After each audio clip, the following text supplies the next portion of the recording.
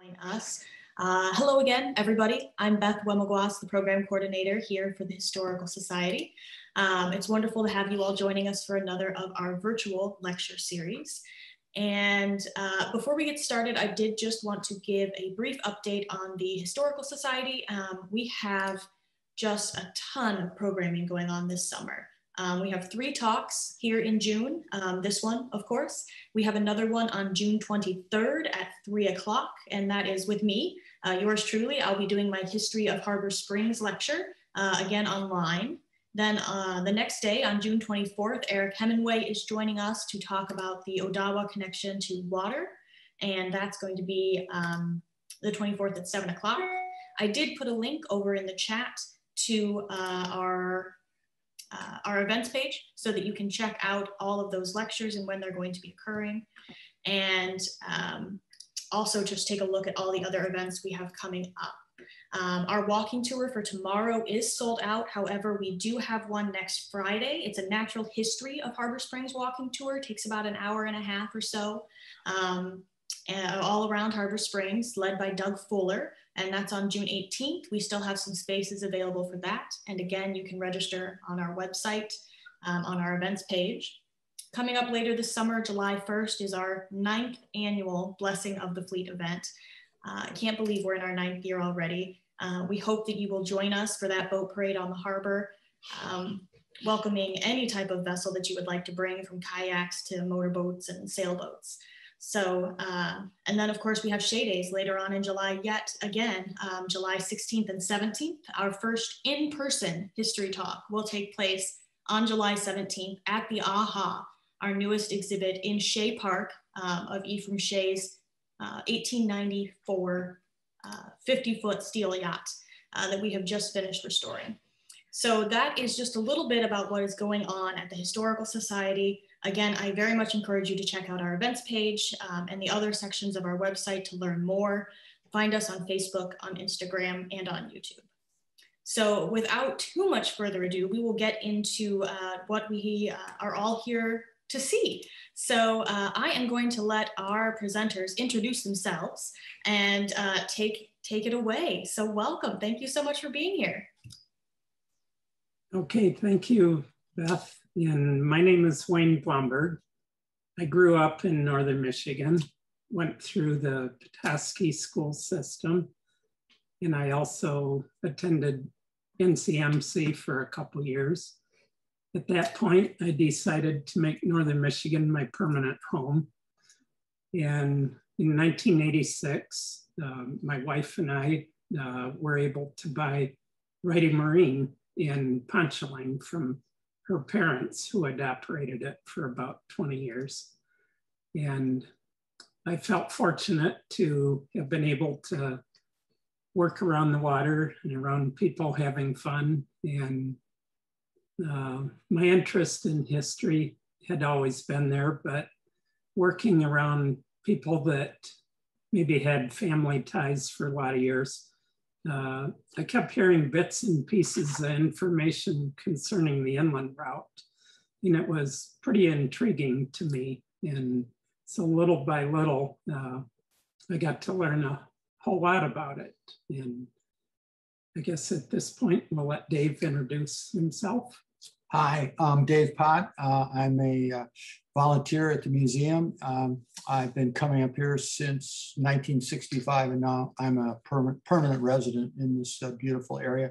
And I'm going to talk a little bit about uh, railroads and uh, how they affected the inland route. So, uh, thanks very much for joining us on this journey along the waterway this evening.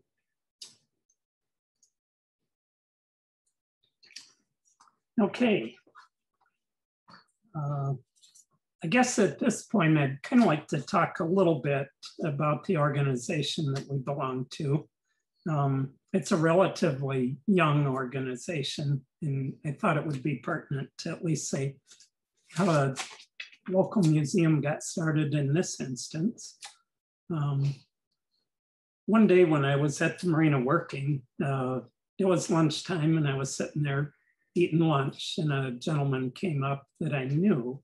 Uh, his name is Mark Hill. And he needed some parts for a boat he was working on. And I started to get up to get him his parts. And he said, no, sit there and have your lunch and I'll wait until you're done. So we're sitting there and in the turnaround in our driveway, there was a huge anchor. And I he asked a little couple questions about it. And I said, well, that anchor was recovered at a crooked lake in the mid 1970s. And that really got him going. Mark uh, grew up in Lansing and later, uh, after schooling, uh, became an instructor at Ferris State University and teaching in their industrial arts program there. But he had a summer place in northern Michigan and enjoyed history a lot, having grown up in Lansing, and realized that we both had a interest in it. Uh, it, it wasn't during our first conversation, but in subsequent conversations, we both uh, started to wonder if there was enough information and in interest in having an inland route museum. Uh, Mark knew that in other communities along the route, like Indian River and Topinabee and Cheboygan, uh, there was not a museum dedicated specifically to the inland route. And so we wondered uh, if there was going to be a museum, why not Alanson? And so we knew that uh, if anything was going to succeed in the Lansing area, we should talk to Tom and Jean Fairburn, which we did. And they suggested a meeting among uh, a few individuals. And um, in 2004, we met for the first time in this very building. It was in need of renovation at that point. It was a derelict building that uh, if it didn't get fixed up soon, it was going to be torn down. So we met there and decided that indeed uh, we should go for it. Um, let's see, can we switch to number two? Okay after we decided to form as a official organization, uh, we came up with a mission statement that is actually quite simple. And it reads there at the top, preserving and maintaining the history of the inland route. The inland route consists of uh, Crooked Lake, Crooked River, Pickerel Lake, Burt Lake, Indian River, Mullett Lake, Black River, and the city of Cheboygan is at uh, Lake Huron there. So the route consists of 38 miles of navigable water. There's also a small stream between Crooked Lake and Round Lake that connects the two, but it's not navigable. And actually, there's another stream that flows into Round Lake. It's within a half mile of Lake Michigan, yet all the water originating in Spring and Mud Lake and Round Lake makes its way through the series of lakes and rivers to Lake Huron, 38 miles distant. Uh, let's go to number two, three. Okay, uh, this is uh, an inland route chart that was produced in 1914-15 and that is the very first navigable uh, chart. Up at the top, uh, you probably can't see it on your screen, but it says produced by the War Department. And in later years, that became the Army Corps of Engineer. And we have uh, two charts that look like this. Uh, they're very, very detailed. And if you think back to 1914 15, there were no aerial pictures being done at that point. And so all the markings on this chart that you see, water depths, even including out into Lake Huron. In the contour, excuse me, the contour marks around the lakes all would have been done by uh, uh, manpower and people being out there. And it took two years for him to compile that information. Uh, between Little Traverse Bay and Round Lake, there's some contour marks that mark the dunes of the Petoskey State Park, which I thought was pretty interesting as a kid. I grew up in that area and knew about the dunes and such. So if you look at the inset up in the upper left-hand corner, you'll see Cheboygan quite prominently displayed. Now, the European use of the inland route started in around the 1850s. So by the time this chart was produced, that was like 45 years later. And you can see in the city of Cheboygan, uh, let's see if I can find a pointer. Okay, right here, this uh, is an obvious dredging line out in Lake Huron. And uh, we have information that tells us that when the Europeans arrived, the mouth of the Cheboygan River was about two feet deep and about 50 feet wide.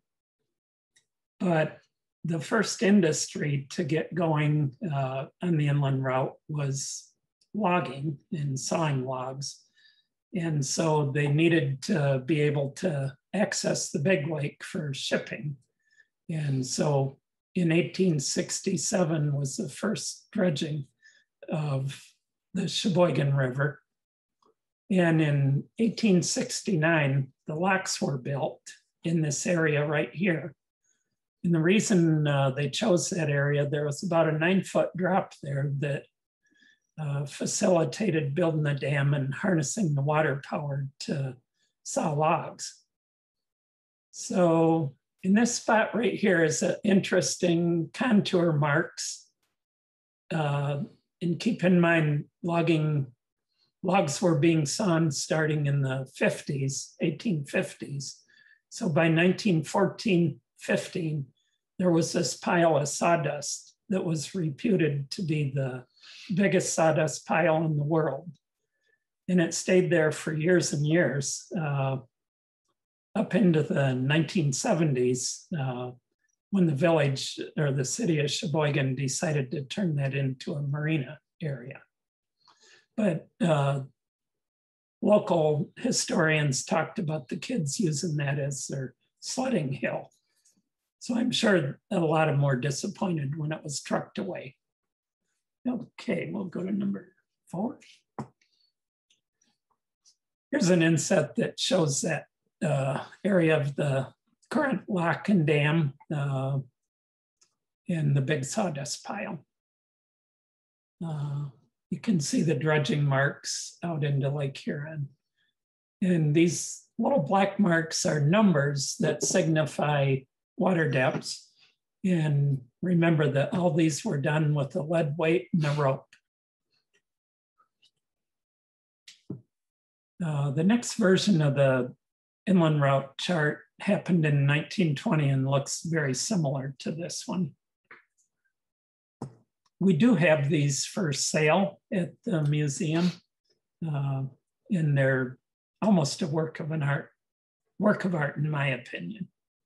So we talked a little bit about logging being the first uh, industry in Northern Michigan. And this panel has a lot of the tools of the trade and some pictures. Uh,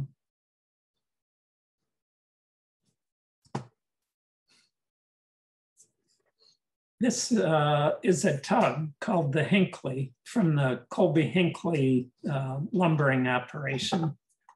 And it just so happens that a local family had ties to this company. And they, those little tugs usually had a steam whistle, but they also had, um, also had a hand whistle that was donated to the museum. And I thought you might like to hear that. So that's kind of fun. We let kids occasionally blow this, the whistle when they're in the museum. Okay. All right. Um, this is uh, what is called the log mark, and they were put in the logs as they were in the river floating. Uh, there might be a real mixture of logs from different companies. And I think the reason for three of them is so that no matter how the log is floating, they'd still be able to read uh, the log mark and know who it belonged to. We've heard stories uh, from a historian in Cheboygan, Ellis Olson, about uh, even in those days, there were some unscrupulous companies and characters that might saw the mark off and market with their own. Uh, uh, the gentleman that I just mentioned, Ellis Olson, was a historian in the Cheboygan area that wrote this book. And he called it uh, Wood Butchers of the North. And there was a lot of information in there regarding logging. And in the book, Ellis uh, was able to find log marks that were registered with the city of, or the county of Cheboygan.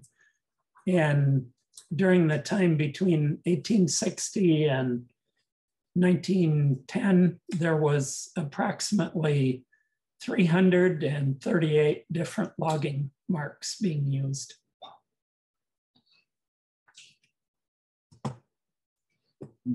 This picture is uh, on Crooked Lake looking toward the village of Alanson.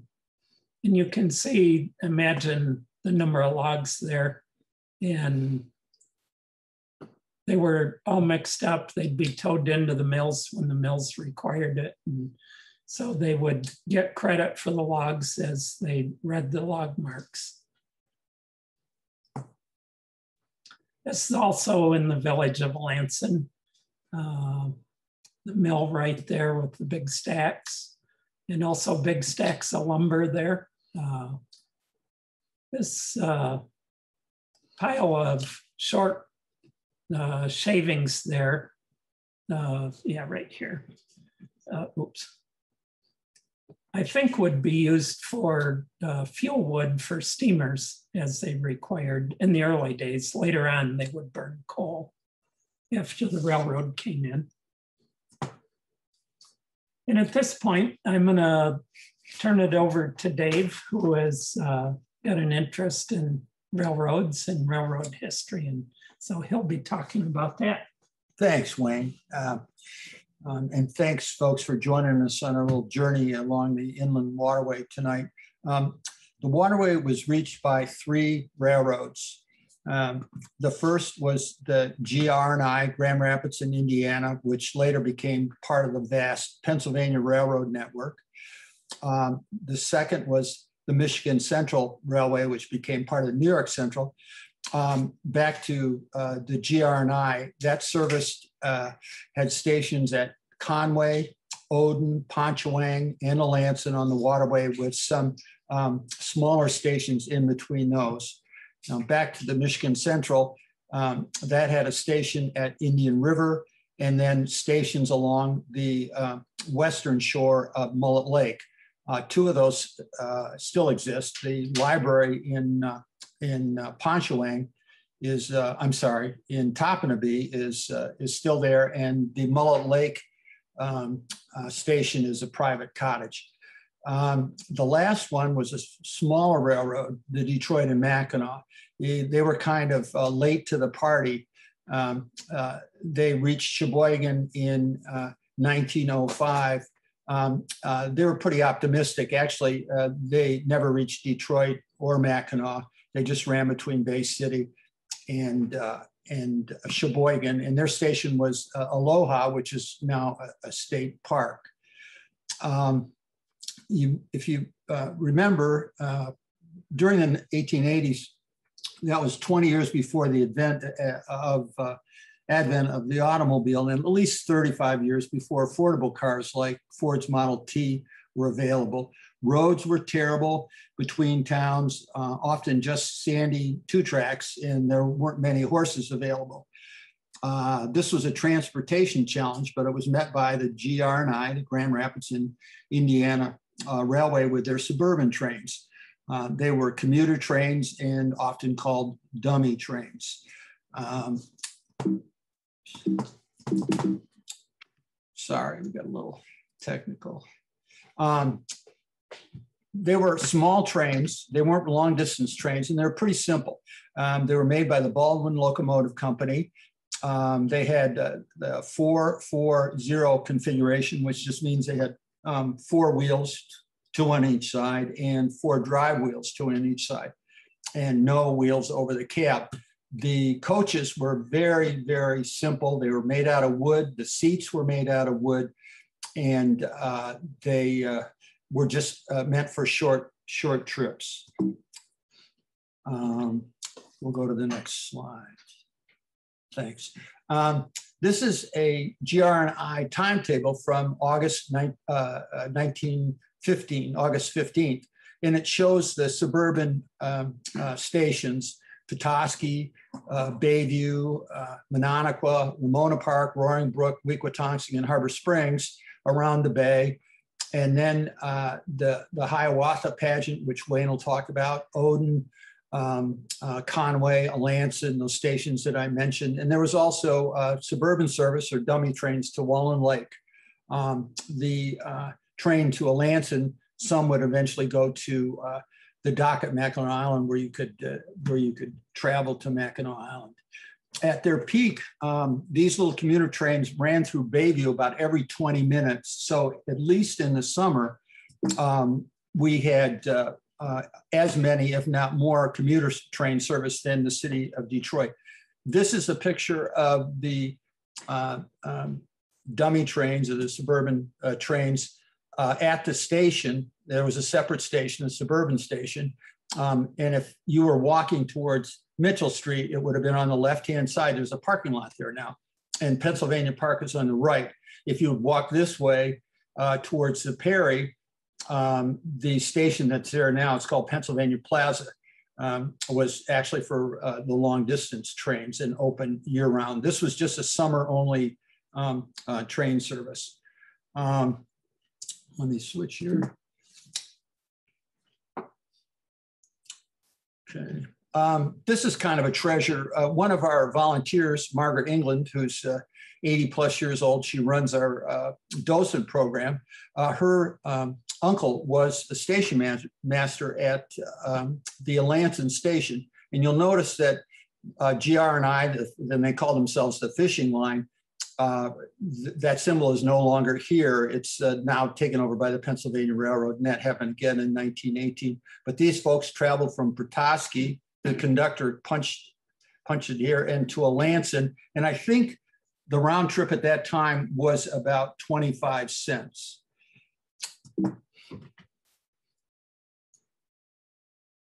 Um, this is, uh, I love this picture. This was, we believe, taken in 1920.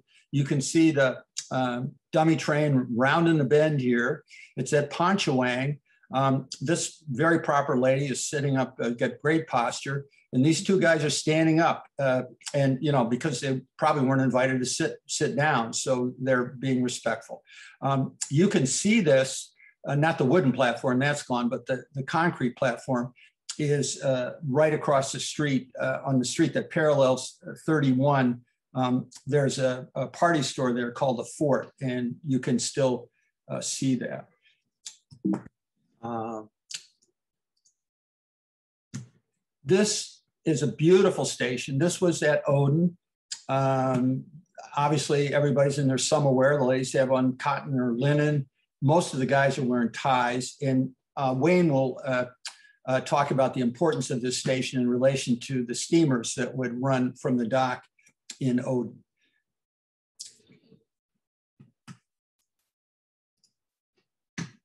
Um, this is my favorite station. This is the station of the Detroit Mackinac at Aloha.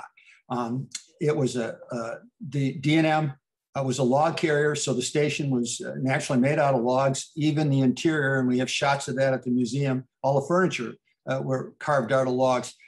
Real quickly, if uh, you've ever been to the Hackmatack uh, restaurant, um, whoops, on, uh, on the Cheboygan River, you'll notice a similarity between the tower and we're trying to get back to that picture. Uh, the tower at the Hackmatack and the one at uh, that station. So um, we guess or surmise that perhaps it was the same architect or the same um, uh, builder. Um, one last story about the Detroit Mackinac. Um, they again came late to the party, and uh, in 1905 they started building a track, their track into Cheboygan. Well, the guys from the Michigan Central didn't like that, and they started a fight.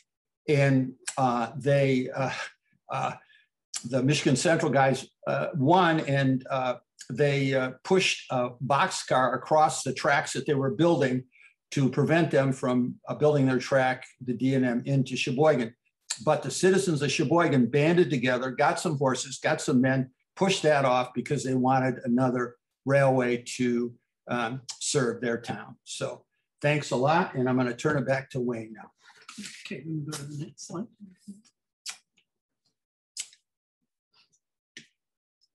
Okay, as uh, we talked about earlier, uh, the white pine was virtually gone from northern Michigan by about 1890.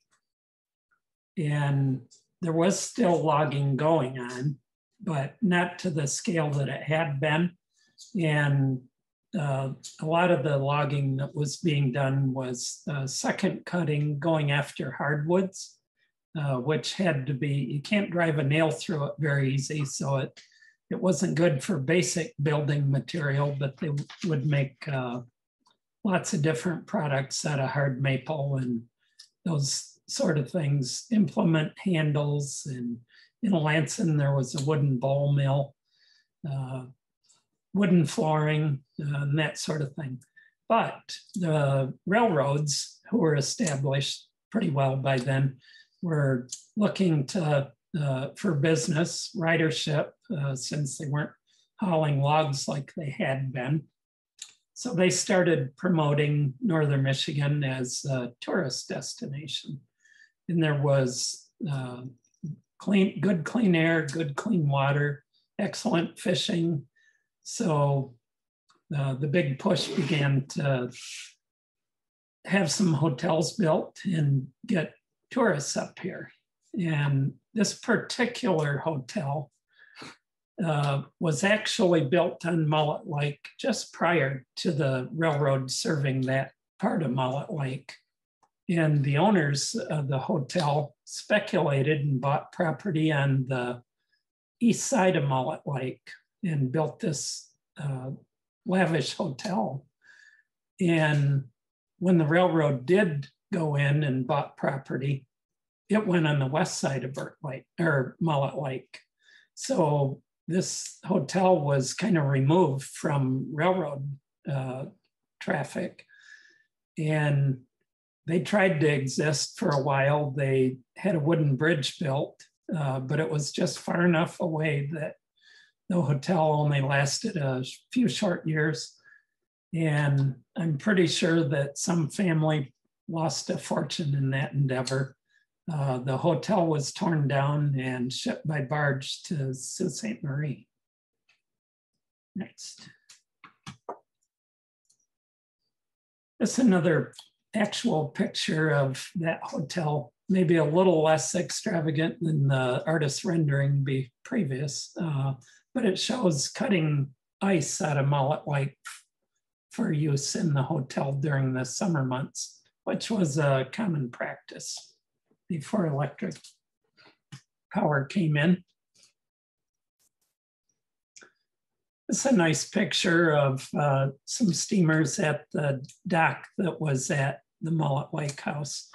Uh, most of these hotels did end up building pretty substantial docks to attract steamer traffic. And the early steamers were sidewheel steamers, like the Northern Belle at the end of the dock there. There's a tug on the right here. Uh, I think the name of that tug, according to the picture, Major Dana. And then over on this side is the first propeller driven steamer that plied the inland route called the Mary.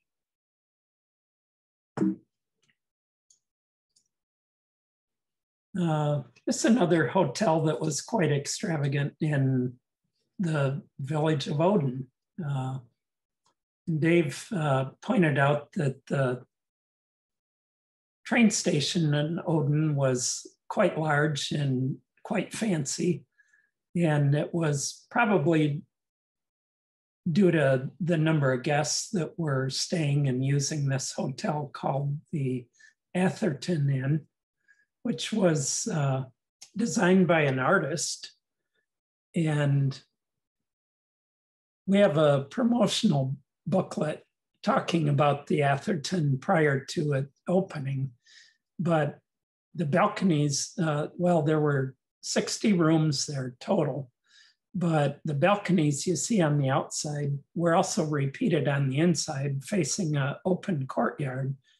And in the evening, there would be enter entertainment in that area. There'd be bands, poetry readings, and that sort of thing. In this picture, the wooden dock there leads out to the, or wooden walkway leads out to the steamer dock. Next.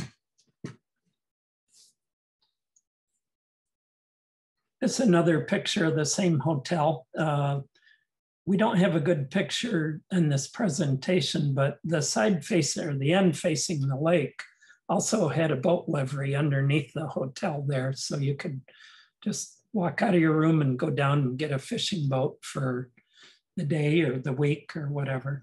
Uh, in the roof where the arrow is, uh, that promotional booklet talked about that being stained glass windows on each side that filtered light down into that open courtyard.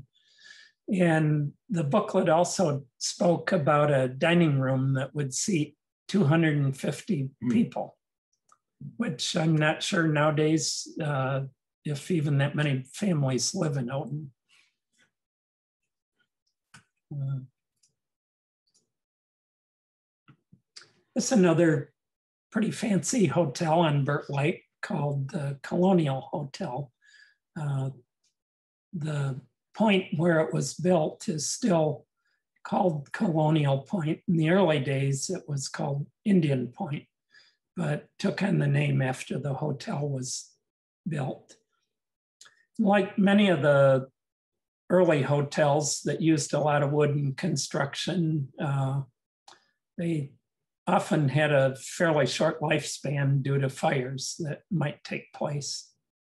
And this one burned, I believe it was 1919. Mm-hmm. And next. Uh, we'll come back to talking about the colonial, colonial point area uh, later in the program. But this uh, hotel was about a 20 room hotel in the village or area we call Ponshewaing. And they also had a boat livery and fishing was a big draw to that area. And you can see the catch being displayed there. Next. This hotel uh, was a recent gift to the museum uh, model of the Hastings Heights Hotel, which is on the west end of Crooked Lake off Graham Road up on a hill.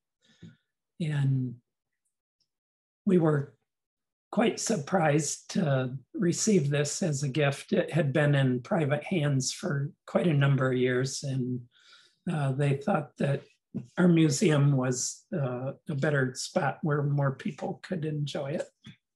Next.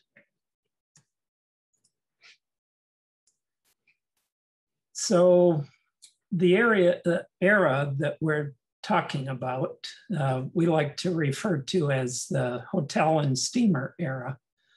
And it's this picture is one of my favorites. It's one of the early steamers on the route, but that boat is called the Beautiful Irene, and it is 80 foot in length. And it's hard to imagine a boat that size being able to navigate the twists and turns of the Crooked River. But somehow they were able to do it. And there were bridges along the route, various places, and you can see the guy wires on the smokestack. And most of the steamers, if they had a tall stack, the stack would be hinged and it would have to be lowered to fit under the bridges. Next. Uh, this is a beautiful shot that after probably 10 years of existence, the Inland Route Society, we thought we had seen all the early pictures. And Chris Struble uh, knows Dave and told him he had a picture that he thought we would like to have. And uh, so this picture came into our possession just not very long ago. And we really would like to thank Chris. Uh, he has a strong interest in history and uh, doesn't mind sharing it with others and also operates the Arlington Jewelry in Petoskey on Lake Street. I suspect that in this picture, what we're seeing is uh, the little steamer giving way to the Oden, which uh, has kind of an interesting story started life as a tugboat on the inland route. And when the logging dwindled and tourism picked up, they decided to cut it in half, add 20 feet, and turn it into a passenger boat. And I like the burly captain in the pilot house, uh, dressed with a vest and tie and in a hat. These flags that are being displayed on the boat would usually have the name of the intended stop for that particular boat. And so people on the docks and uh, places where the steamer would stop would know uh, the different spots that the steamer would be picking up or letting off passengers. Mm. And this is probably the most famous boat of the inland route uh, called the steamer Topinabee and they would do trips starting in Crooked Lake and travel to the village of Topinabee, where the guests would have lunch, and then the boat would return back to whatever stop uh, that they had left from and time to catch the train back into Petoskey. Uh, you can see by the black smoke that they were burning coal. The Topinabee operated uh, the, on the inland route by the inland Hamill's inland route line, and from 1902 to 1910. So kind of a short number of years, but by 1910, tourism uh, was starting to drop off a little bit. Uh, often the double decker would carry a band on board for entertainment for the guests. Okay. Here's another picture of that same boat on Burt Lake, I think. Next. And I thought it would be appropriate, even though this picture is uh, quite a bit later from around 1956 or seven, uh, but to show the twists and turns of the Crooked River, that part didn't change much from the early days to think about those 80 foot steamers being able to get through that. I still don't know how they did it. Okay. This is uh, Tom Petoskey, who was uh, captain on the steamer for a number of years. And he was uh, grandson of Chief Petosegay.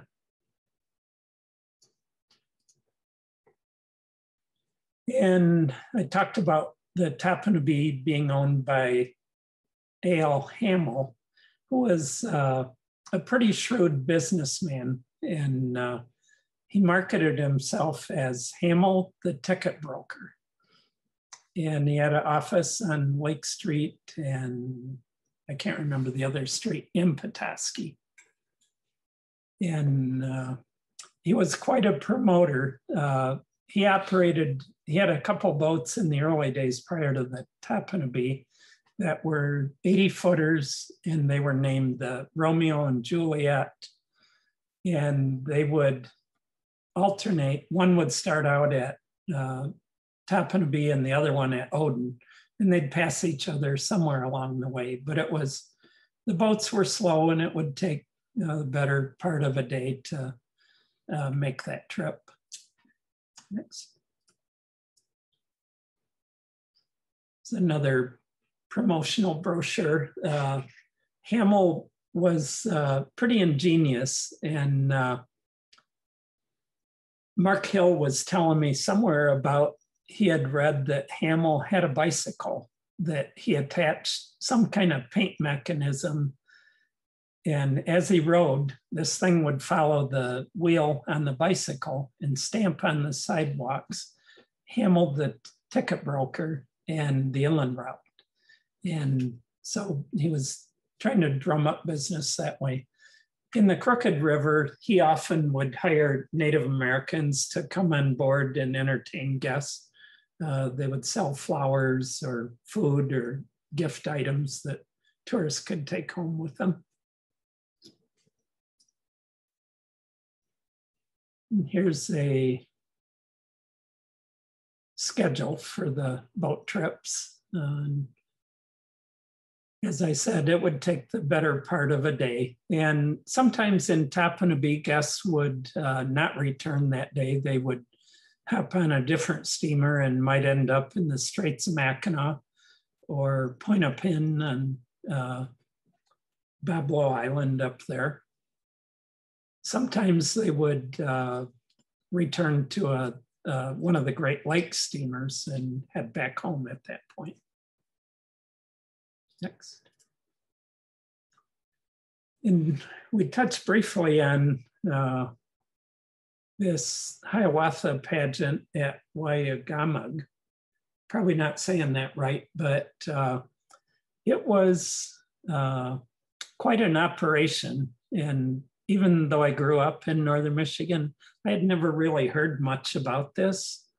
But it took place on Round Lake, uh, right near where the GR&I railroad tracks past the lake shore. And the railroad itself had purchased the rights to put this play on. It was originally developed up in uh, Garden River east of Sault Ste. Marie by Chippewa Indians up there, but it took a cast of about 60 to 70 Native Americans to reenact Longfellow's poem, Hiawatha. And there was a grandstand there that had seating uh, for I don't know how many people, but underneath they had gift shops and uh, food available. Early in the day, you could hire an Indian guide to go fishing on Round Lake in a birch bark canoe. So it was quite an operation. And the thing that really surprised me about it is the longevity of that uh, operation. They started producing the pageant in 1905, and it lasted 11 years uh, till 1916. It ran every day in the summer except Sunday uh, from Memorial Day to Labor Day. So Mark Hill said that he has heard that there is a short video at the Smithsonian in Washington, D.C. concerning this play, but I haven't talked to anybody that has seen that. Someday I may get there. Next. here's a program that uh, I think was given to us by a gentleman that said he was remodeling his cottage on Round Lake and found it between the walls. Uh, but uh, in the land of the Ojibways, that uh, was uh, the emphasis on the Hiawatha pageant. It was Chippewa Indians that reenacted most of the time, but I think also some of the Native Americans locally also got in that at some point.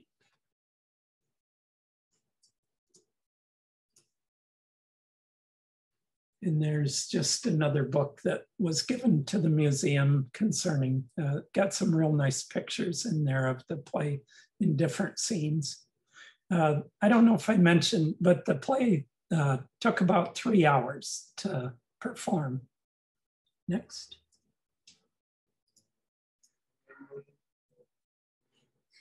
And we're going back to the village of Alanson here, and we put this one in to show the early swing bridge.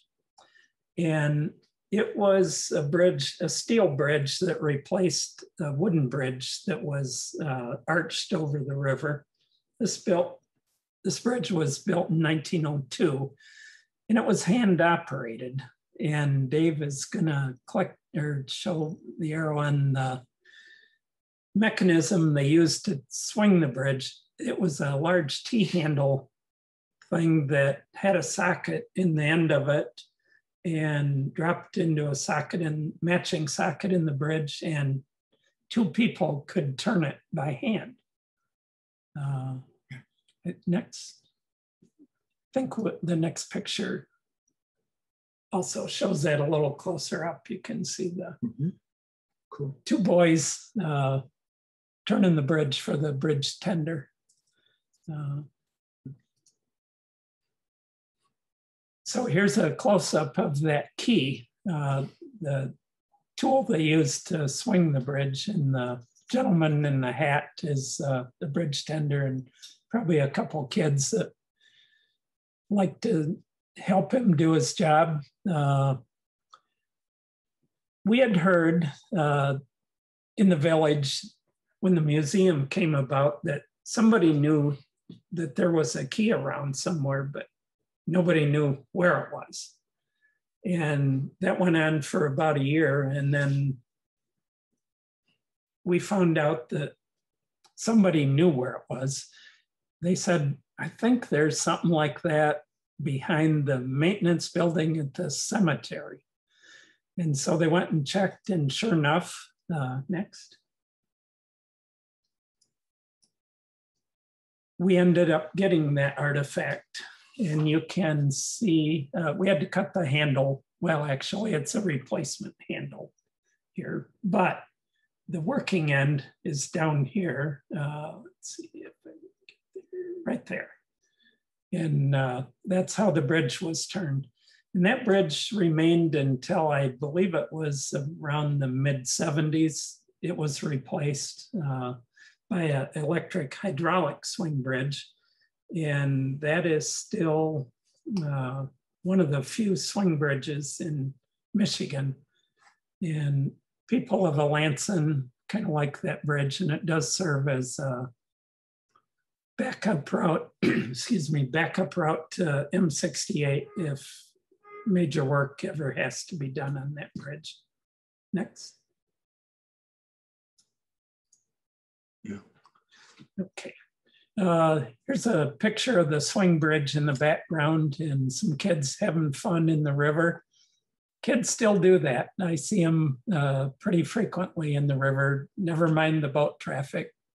And a big stack of wood there late, uh, ready to ship somewhere. Next. Uh, we, speaking of kids, uh, there were quite a few uh, summer camps on the waterway at various points. And the Historical Society has a pretty good list of the name of the camps. They often had a theme, uh, quite frequently Native American, but there was one uh, on Mullett Lake that was called Camp Kimosabe, and they called it the Lone Ranger Camp. Uh, there is a camp on uh, Pickerel Lake that existed for boys for quite a number of years, uh, funded by Jim Templin, that eventually became the county park that it is today. And this is Colonial Point. After that hotel burned, there was a lady that purchased the property and built a summer camp there for girls. And back in those days, when you went to summer camp, it wasn't just a week or two, it was the whole summer. And they'd be taught uh, various things concerning growing up and becoming productive members of society. Uh, this is a great picture of the depot and uh, Brutus. Brutus and the girls that either had just come or were en route to camp. Next. And another uh, industry that occurred down the inland route was boat building. And we got an interesting email one day at the museum, or maybe it was uh, a letter, I don't recall, but it was a gentleman, Daniel Cook from Seattle, Washington. And he said that he had some tools that belonged to his great grandfather, who was a boat builder in Alanson. And he asked if we were interested in them, and of course we were. And within about three or four weeks, we got a couple boxes and had all these wonderful woodworking tools from the early days. And there's a, from the M68 bridge in Alanson, you can look off downriver to the left. There's a, a two story boathouse there. And that was where Malcolm Cook lived in the summer. In the winter, he moved into Petoskey, he and his son. But these are uh, a couple boats that he had a hand in building. The one on the right is the pastime, and the one on the left is Merchant's Tug. And Merchants was a lumbering operation in the village of Alanson. Next. And there was another one up at uh, Mullett Lake uh, where Hobart Marine was that began operations in about 1920. A gentleman would build these beautiful lapstrake rowboats. And he built them uh, for a lot of cottage owners on Burt, Mullett, and a few even on Crooked Lake. I've never heard a number on how many built, but they would be different sizes but uh, beautiful boats that rode uh, with no effort.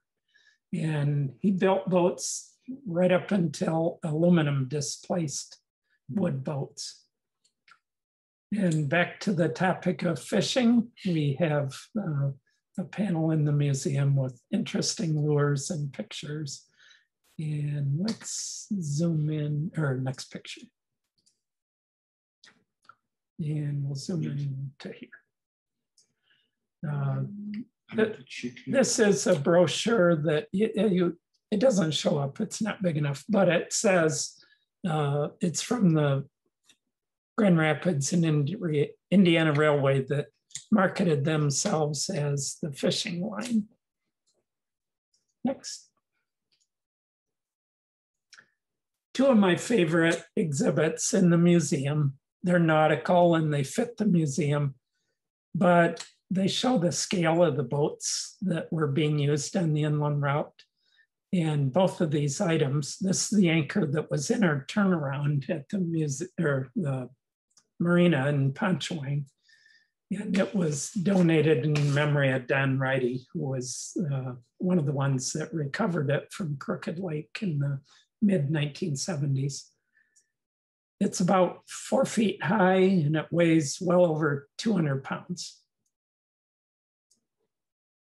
And then this next item is a very large propeller. And there's no way of knowing, it's been researched uh, what boat it came from, but it also was recovered from Crooked Lake. And if you look close in the lower uh, prep blade here, you can see a repair that had been done.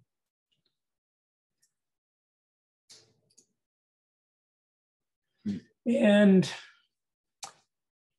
when the idea of the museum came about, I think it really came about because there, there was members in the group that wanted to recreate the experience for people. Uh, and a gentleman from Burt Lake surprised us with this model that he built, uh, not from a kit, but just by pictures. And it was a boat that we hope to acquire and have doing trips on the inland route.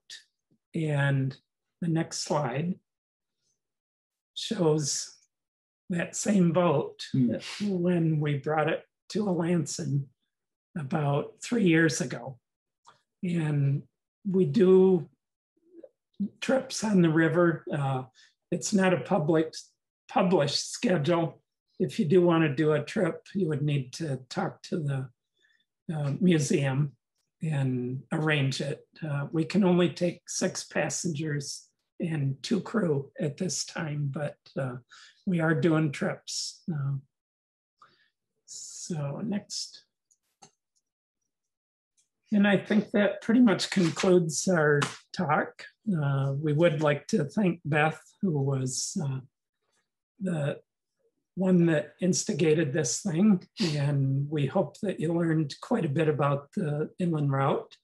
I've been amazed at the scale of tourism uh, back in the 1880s, 90s, and early to, uh, 1900s. And it's just amazing to think of the number of people that got to experience the route, which was um, advertised all over the country.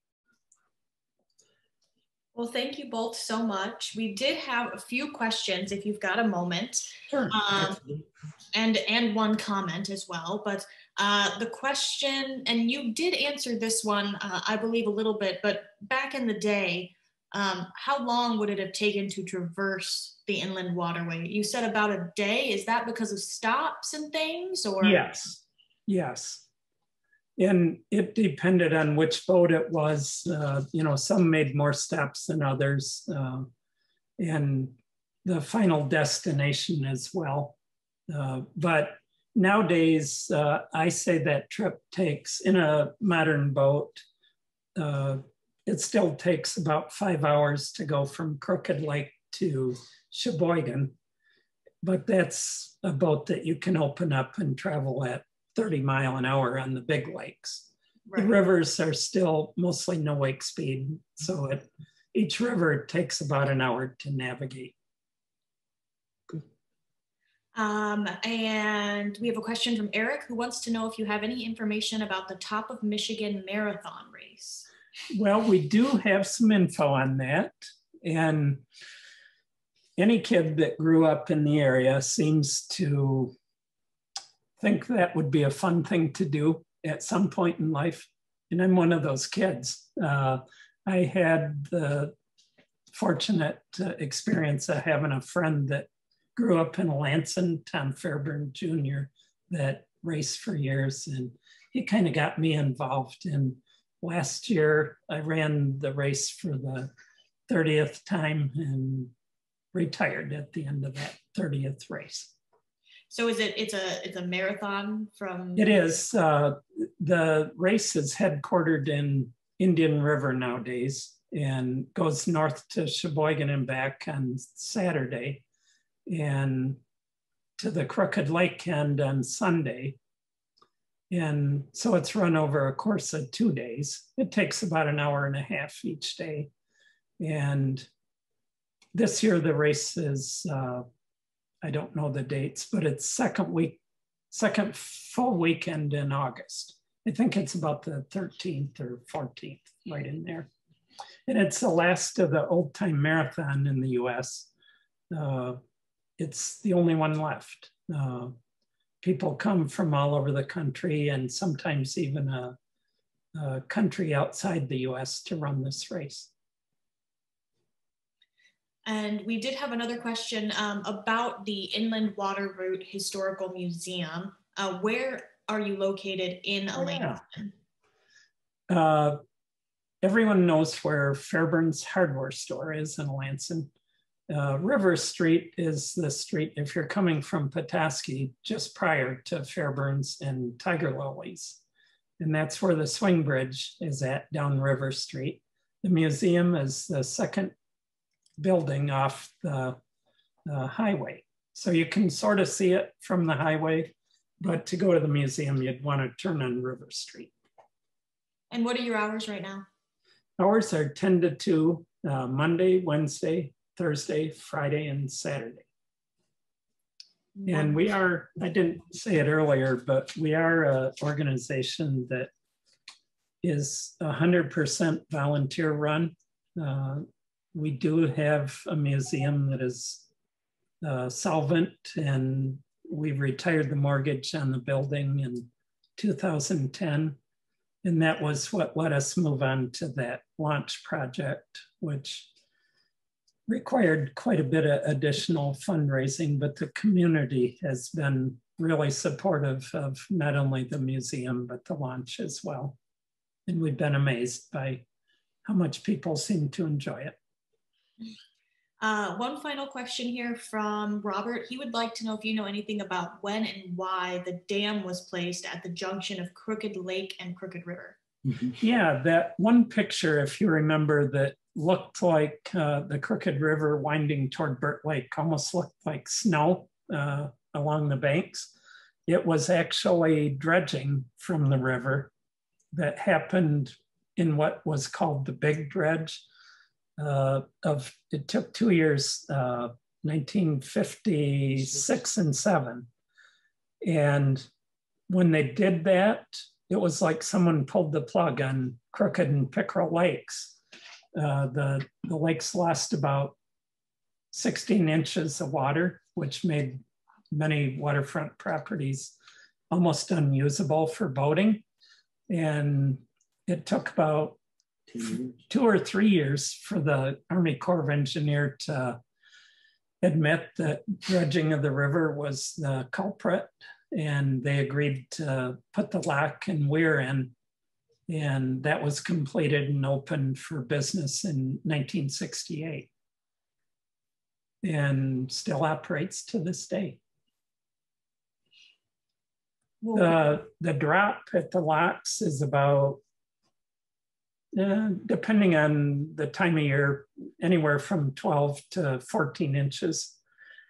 And conversely, the lock in Cheboygan uh, was built way in the early days. I think it was uh, 18 or yeah, 1869 when that block was built. And at that time, it was built to wood and only raised the boats about nine feet. The lock that's there today is all cement and pretty intimidating when you're at the bottom when the water is low. It's about 26 feet. Well, I think that was our last question, but um, I just want to say thank you so much for joining us. Um, there's a lot of similarities between our two historical societies and uh, a lot of history uh, of, of passenger ferries and waterways and, and a lot of things in common. And, and so it was great to have you here to talk a little bit more about the inland route as opposed to just Little Traverse Bay where we are. Um, thank you again so much for coming. And to everybody who was here watching, thank you so much for joining us. Uh, a reminder that the uh, we have several other lectures coming up and other programs this summer, which you can find on our website. Um, there is also uh, the website for the Inland Water Route Historical Society is up on your screen right now. And you are welcome to visit that website and give them a call if you'd like to schedule a tour on uh, their restored boat. Uh, our more recently restored boat, uh, the 1894 Aha, is now an exhibit in Shay Park. Uh, unfortunately, it will not be on the water. Um, it is just a static display. Um, but we hope you will come and uh, see the museum in Harbor Springs and the museum in Alanson. Uh, add those to your, your summer to-do list. So thank you all again so much, and we will hopefully see you next time. Thanks, Beth.